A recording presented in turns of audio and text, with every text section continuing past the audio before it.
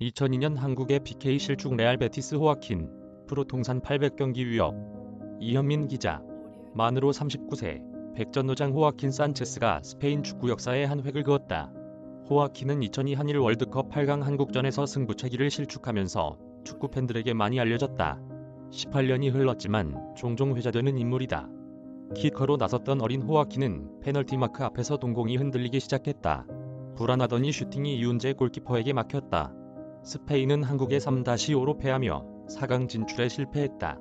아직 스페인에서는 이 경기가 오심이라고 주장한다. 호아킨도 지난 5월 25일 불을 지폈다.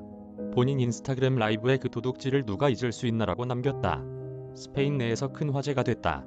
이를 엘테스마르케가 보도했다. 매체는 우리에게 매우 값비싼 심판이었다. 호아킨의 환상적인 플레이를 통해 탄생한 모리엔테스의 일격은 주심에 의해 파괴됐다고 통탄했다. 2002 월드컵 페널티킥 실축은 본인과 스페인 역사의 뼈아픈 기억으로 남았다. 하지만 스페인 내에서 그는 여전히 존경받고 있다. 곧 부록이지만 철저한 자기 관리로 아직 그라운드를 누비고 있다. 24일 아틀레틱 빌바오와 라리가 10라운드에 선발 출전해 71분을 소화했다. 스페인 마르카는 호아킨이 프로 통산 800경기에 출전했다고 보도했다.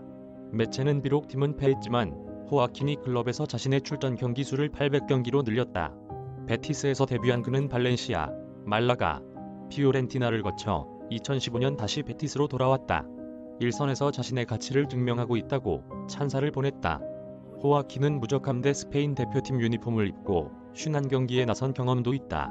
현재 베티스 주장인 그는 21년 동안 프로 생활을 하며 106골을 넣었다.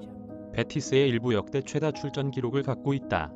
라리가 통산 561경기로 안도니 수비사레타에 이어 역대 최다 출전 2위에 올라 있다. 살아있는 화석이다.